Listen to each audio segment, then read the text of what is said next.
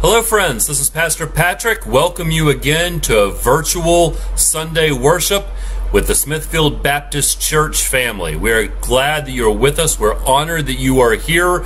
It is a joy and a blessing to be able to use technology to come together this morning to worship our Lord. Because even in difficult times, this is a day the Lord has made and we will rejoice in it. So we're glad you've decided to join with us this morning as we prepare to sing praises to the Lord, pray to Him, and to dig into His words. We're glad you're here. I do want to give you a couple of announcements before we get started in our music musicians prepare our hearts for worship. The first is that we want to make sure that our church family and our community know and continue to know that we are here and we are available and we are willing to help in any way that we can. While our office is not open, uh, regular hours. We are ready to help. We are checking emails. We are checking phone messages. We have our deacons, volunteers, our staff are ready to assist you in any way that we can during this difficult time. So please let us know. Check out our website and see our contact info. Message us on Facebook. There's lots of ways to reach us, and we are here for our church family and our community in any way that we can. The second uh, announcement I want to give to you today is also an important one. Our church publish, publishes a monthly newsletter. We call that the Grapevine, and we send it out through our office every month, and we're going to do that again this month as well. So if you are on our normal mailing list for our newsletter, you don't need to do anything. But if you would like to receive a newsletter and you do not normally receive one in the mail from us, we want to make sure that you get that. So please call into the church phone, leave a message leave your contact info, leave your address, and we will make sure that you get one. You can also email our office manager, Shannon, and she will make sure that she adds you to the mailing list. So if you would like to receive a monthly Grapevine newsletter article and you are not already receiving it, uh, then please just let us know through one of the many different ways that I gave you already. So with that being said, we hope and pray that you are being safe. We hope and pray that during this difficult time you feel God's presence in a powerful way. He offers and promises the peace that passes all understanding to his children and those who seek and call out to him. So it is our prayer that you are feeling his peace today and that you will use this time in worship to feel Him in an even deeper way this morning. So now let's let our musicians prepare our hearts for worship.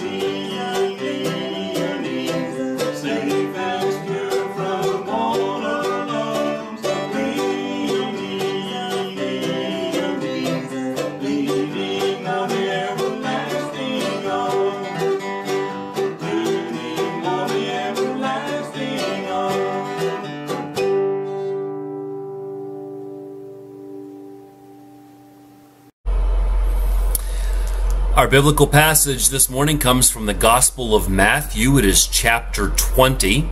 So I would encourage you to grab your Bibles and read along with me. That is Matthew chapter 20, verses 1 through 16. So please join with me as we read. Uh, this is Jesus who is speaking, giving us a parable to demonstrate the incredible awesomeness of grace that he offers. So join with me, chapter 20, verse 1 through 16. And Jesus says, For the kingdom of heaven is like a landowner who went out early in the morning to hire laborers for his vineyard. And when he had agreed with the laborers for a denarius for the day, he sent them into his vineyard. And he went out about the third hour and saw others standing idle in the marketplace. And to those he said, You too, go into the vineyard, and whatever is right I will give you. And so they went. Again he went out about the sixth and the ninth hour and did the same thing. And about the eleventh hour he went out and found others standing. And he said to them, Why have you been standing here idle all day long? And they said to him, Because no one has hired us. He said to them, You too, go into the vineyard. And when evening had come, the owner of the vineyard said to his foreman, Call the laborers and pay them their wages, beginning with the last group to the first. And when those hired about the eleventh hour came, each one received a denarius. And when those hired first came, they thought that they would receive more. And they also received each one a denarius. And when they re- received it, they grumbled at the landowner, saying, These last men have worked only one hour, and you have made them equal to us who have borne the burden and the scorching heat of the day. But he answered and said to one of them, Friend, I am doing you no wrong.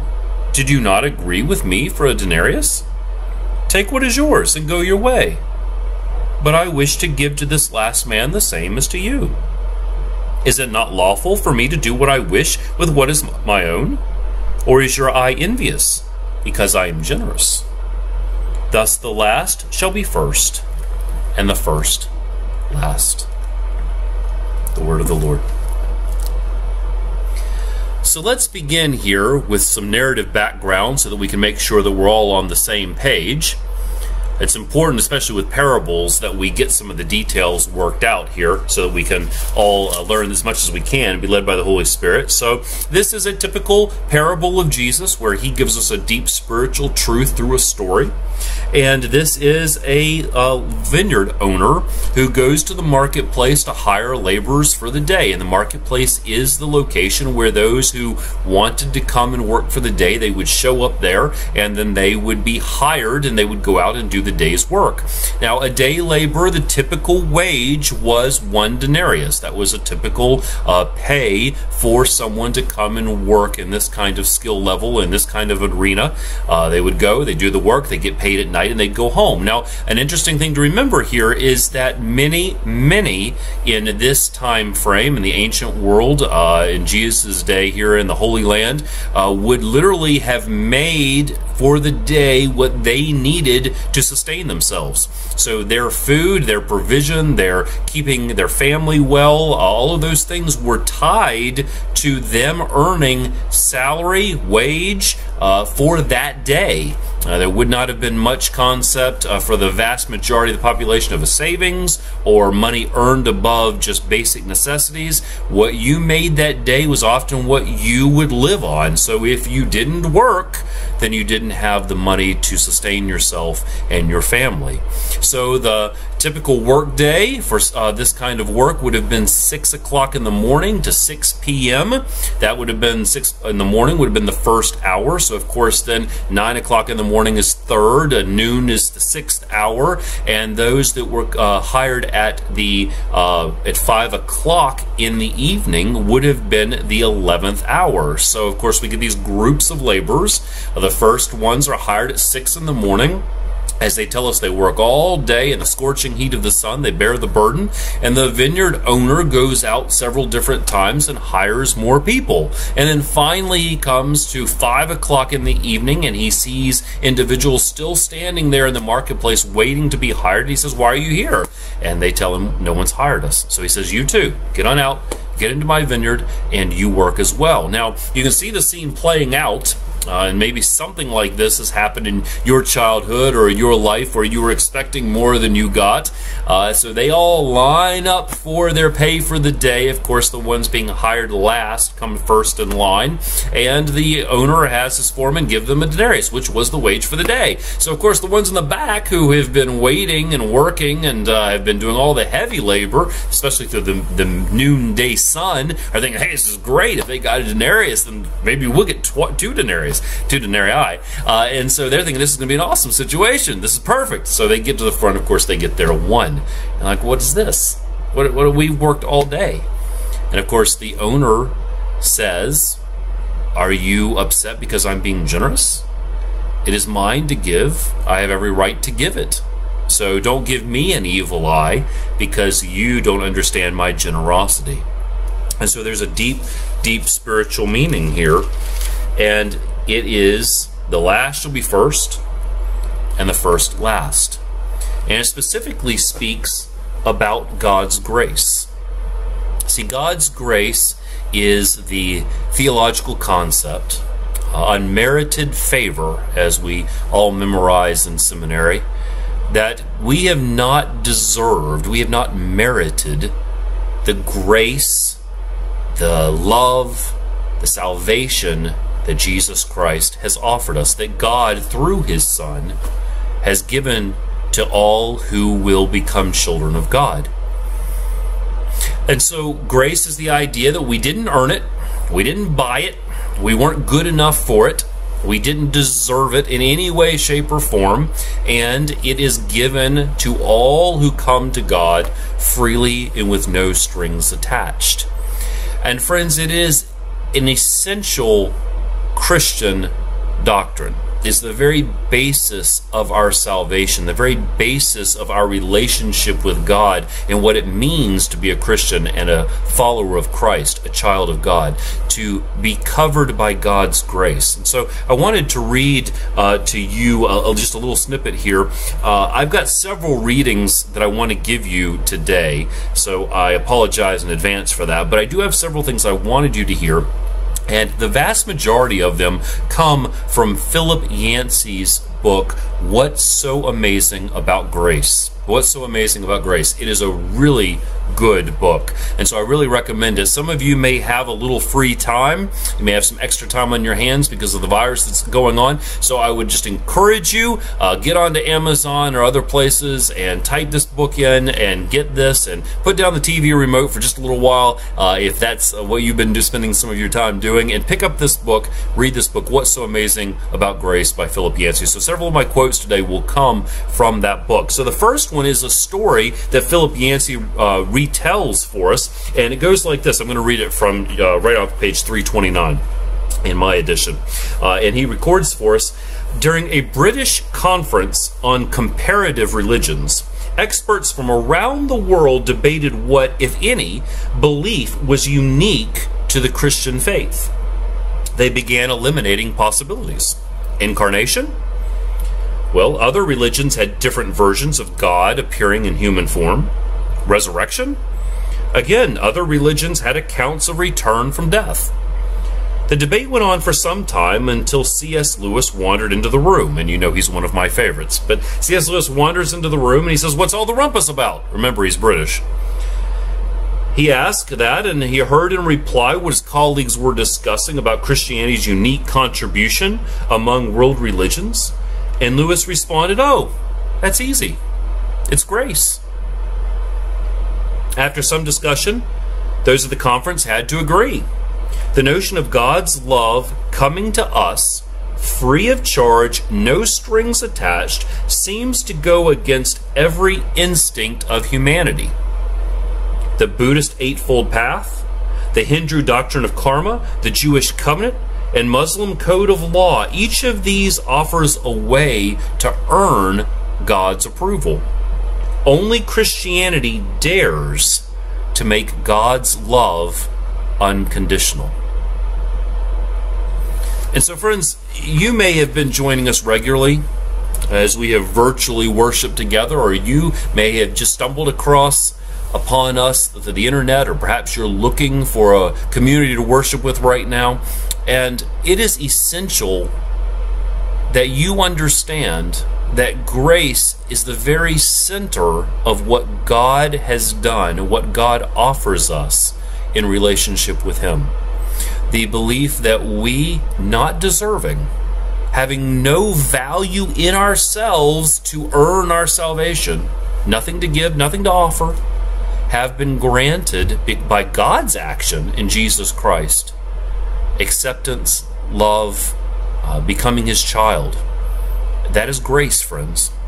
And Yancey records for us uh, that if you dig into the background of that word grace, it goes back to meaning something along the lines of, I rejoice, I am glad. That's kind of the background of that word grace. And, and friends, grace should make us glad. It should give us reasons for rejoicing. So, our thought here is that grace is Christianity's offering to the world. You will not find that idea, that concept in the other religions of our world. And that's uh, just uh, such a valuable, valuable piece of knowledge that we as children of God through Jesus Christ have, uh, that we can rely on, that we can live within, is that we've done nothing to deserve this, but it has been given to us by God. So now, one of the issues we face in our humanity, one of the lies that Satan tells us, one of the things that we see permeated throughout our culture, in our movies, in our books, our TV shows, is the lie from hell that says if you are good enough, you will make it to heaven if you are good enough, if you live a good life, if you treat people kindly, if you take care of little animals, if you do beautiful little things for people, then you will be good. You will be deemed good and you will make it into heaven. And the Bible's doctrine and teaching of grace and Jesus' death on a cross and resurrection in an empty tomb tell us that that is not the value, that is not the measuring stick. And the first problem, of course, is that when you start talking about good and bad, I mean, what kind of uh, scale are you using? It moves. It, it's it's it's easy to uh, decide. Okay, well, that person was good. That person was bad. I mean, who's making that decision? The Bible tells us that there is no decision beyond God's choice to extend grace and His children to grab onto it and to become His children. So, it is a lie it is not true that if you live whatever the society dictates as a good person, that you will make it into heaven. Let me be very clear, friends, especially if you are a visitor this morning, if you are a guest on this uh, virtual worship, there is no way you can be good enough to earn God's favor. It's already been bought for you. It's already been provided for you. It's already been given if you will accept it. It is the grace of Jesus Christ death, resurrection is offered to all who will accept it. So that's what grace is. That is a joyous message this morning. It's a message that we should all just, we should be shouting it from the rooftops because it liberates us to live this life. And we'll talk about that uh, some more in a moment. Now, the problem is for us as human beings and as Christians is that we don't live it. We think like the laborers in this parable, in this story, that if we are good, we deserve more. That if we've done better stuff than that guy over there, that we should somehow receive more of God's grace. We should get more. We are better. And that somehow we deserve more in our daily wage than that person over there we continue to live as if it is a merit based system with God. And the Bible and this parable in particular show us in a powerful way that this is not God's way. This is our own sinful humanness view of what has value and what has worth. And this has serious consequences to our spiritual health, friends. Do not dismiss how easily we fall into this trap. And it's a spiritual trap, no question about it. So I have another quote for you.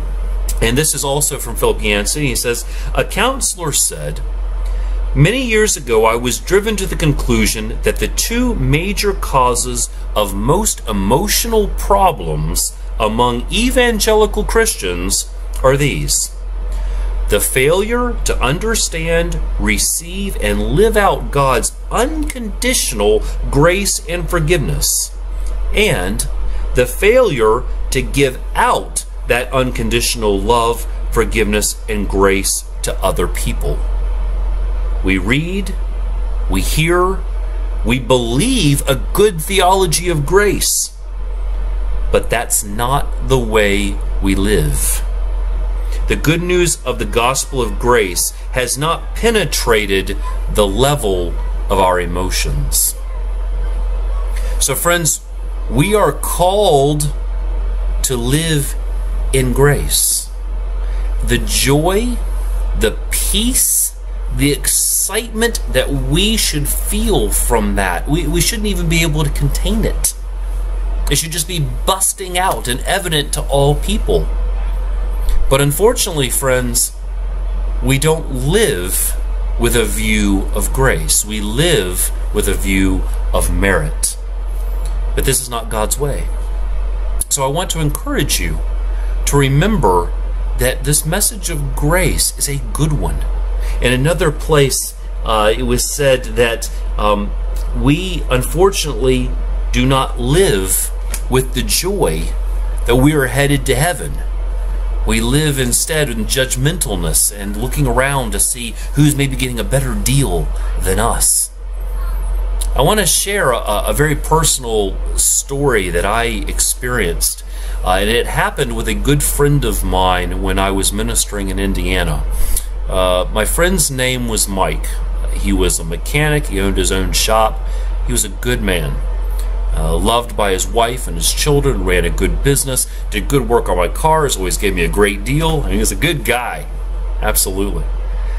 But he was never really in a relationship with Christ. And it was something that bothered his wife, no doubt, and, and she would pray about it and put it up as a prayer request. He was a good man, but just not living in a relationship with Christ. But everybody knew him. Everybody who interacted with him in the business, who spent time with him at his house or uh, just enjoying his presence, we all had a great time with him. He was a wonderful guy, but he wasn't in a relationship. Well, my friend Mike got cancer. He battled bravely for a couple of years, but ultimately that, that cancer got the better of his physical body and he went into the hospital and he was in there and it was uh, clear that this was this was going to be the end of his time here on earth and he had a couple days as i remember it where he was kind of in and out uh, the medication of course trying to keep him out of pain but he had this moment of clarity towards the end uh, I think maybe the day or so before he actually did pass. And he had this moment of clarity. And his loving wife, also a wonderful person, uh, went up to him and, and, and just started to talk to him again about giving himself to Christ in relationship, even at that late hour, even at that moment, to to say it is only through Christ that I will receive the joy and the blessing of being God's child and be made right with God. And and his wife told us all uh, there as, as tears were streaming down my friend Mike's eyes that he nodded his head and began the greatest journey and exciting experience of his life by becoming a child of God.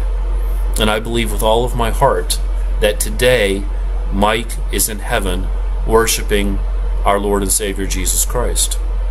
I had the honor of preaching at his funeral, and I used this text because it's his story was an incredible reminder that no no point no it does not matter when we arrive at the party.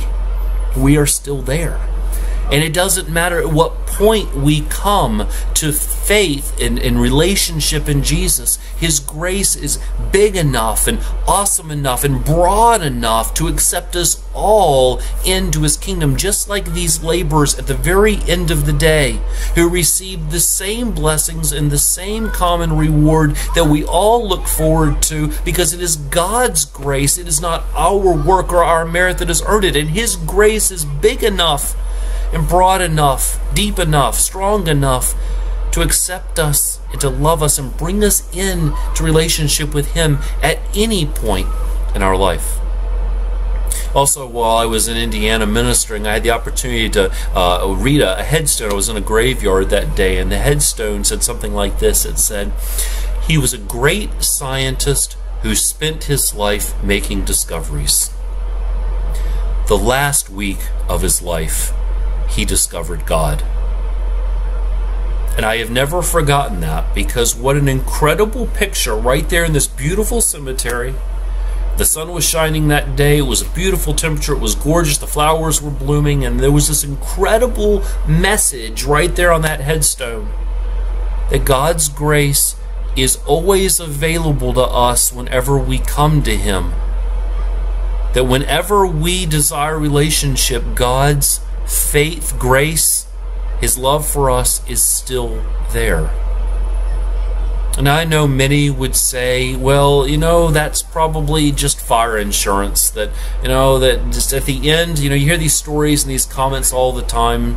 Uh, well, you know what? I'm going to live however I want, and then I'm going to, at the very end of it, I'm going to begin my relationship with God, and I'm going to get into heaven, and it's going to be okay. And, and I don't believe that that's the way it works, friends. And there's two reasons for that. First of all, because I've never actually heard of anyone doing that. I mean, in my experience as a pastor of the Word of God and of uh, a minister of His grace uh, to others, I've just never seen or heard of that happening. And I think that the reason for that is that for the hardened heart, the the soul that has said for 60 70 80 90 years to god no i don't want anything to do with you you stay over there i'll stay over here that heart doesn't change at that moment, even when faced with death. That experience of decade upon decade of hardening of heart and rejecting God just becomes harder and more rejection there at the very end of life. Now, other pastors may have seen other things and you may have heard of different stories, but I just don't believe that there are these many people who spend their whole life saying no to God and then all of a sudden say yes in a false or fake sort of way, as if they were somehow trying to buy insurance. Fire insurance, sometimes it's called in the pulpit. So I don't really think that happens, even though that's a critique that people try to throw out there. And secondly, the reason I don't think that this uh, fake sense of getting saved at the very end here of physical life, I don't think that really happens because number one, uh, number two, God is not mocked. God knows who we are. God knows the state of our heart and soul. God knows the repentant heart when it comes to Him in repentance and acceptance of God's offer of grace, just like my friend Mike. And I praise the Lord that his love and grace is so deep and so broad that it will love all who come to him. And friends, that should give us great joy. But unfortunately, so often the church doesn't look joyful. The church doesn't look like we live in grace. It looks like we still live with merit. But our calling is to live out grace, even now, even in difficult times, even in uh, some isolation and our self distancing and everything uh, that's going on in our world. We are still called to live out grace. We're called in our own lives to live that out, to recognize that we can't earn God's salvation. In our own life, friends, that should give you a freedom to live, a joy to live there was this uh, wonderful praise song that many of us sang uh, about 10 years ago that the song was uh, we are free to dance. I said we are free to live. We have been freed by God's grace to joyously live the life he has given us. And friends this is good news. We don't have to look sour. We don't have to look grumpy. We don't have to be upset. We can live in joy, the grace the peace the excitement that God gives us because we're one of His children. So, for you personally, stop trying to track your goods and your bads. You can't earn salvation. Yes, now, friends, we're called to do works that are good because we live in relationship with God and His children should reflect His love and joy, of course. But when we start talking about trying to earn our salvation, when somehow we start to fall into the slippery slope or the trap that Satan sets for us that says you can earn, your merit can get you into heaven, then we've completely lost the joy that God's grace gives us. And we all need, regardless of whether you are, are, are, a new Christian or you're an older Christian in terms of years and maturity, we all need to be reminded that it has been given to us for free. It's unmerited and it's given to all. There's great joy in that, friends. The other piece of this, of course, is that we need to live out that joy to others. We need to extend the grace that's been extended to us and extend it to others. And this is one of the mistakes, of course, that the earlier day laborers made when those were hired early on. They were aggrieved because they'd been out there longer, they had borne the harsh climate, they were upset about it. And they made the mistake of thinking that God's grace was based on merit. And uh, they were they were upset about it, obviously. So one thing to remember is that there are going to be rewards in heaven, as God tells us. We will be rewarded based on what we do.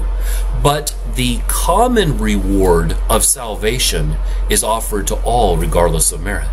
And the common reward of being in heaven is going to be so great and so awesome that we have every reason to believe that the uh, the individual rewards will actually pale in comparison to the incredibleness of the common reward of being with God Almighty and with Jesus Christ. So, whatever individual rewards we receive, such as the parable of the talents and other parables in the Gospel of Matthew show us, the common reward is going to be so amazing. And often, friends, when we have this conversation, we too quickly think about our special rewards in heaven or uh, the fact that we get to have this eternal joy. And instead, what we probably need to be focusing more on is that the joy is based in that we get to be with God, that Jesus Christ Himself is the reward not our individual mansions or our individual opportunities and rewards in heaven. No, the actual common reward of Jesus Christ that is the point. We get everything else thrown in because of who Jesus Christ is. We've talked about this before in some other sermons when we were all together in the same building. Jesus Christ is the reward that we all receive because of our relationship. The other things are just really great extras tacked on because of His love for us, not because of what we earned. So, friends, I want to read this last part to you when we talk about extending grace to others. This again is coming from Philip Yancey, but it's a Gordon MacDonald quote, and he's well known uh, in Christian circles and writings.